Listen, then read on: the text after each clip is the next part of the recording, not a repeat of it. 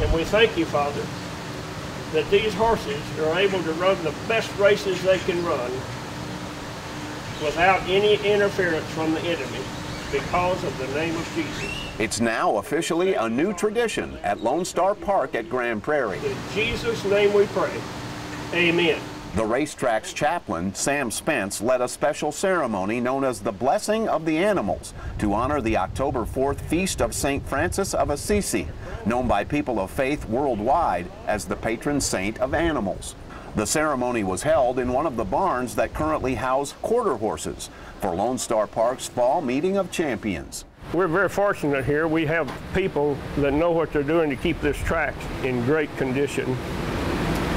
But we also have a tremendous record of, of uh, very few horses going down and very few jockeys getting injured here. And I'm, I'm not bragging on myself. I'm just saying that's the Lord answering prayer. Spence has served as the chaplain at the track for jockeys, trainers, and animals since it opened in 1997.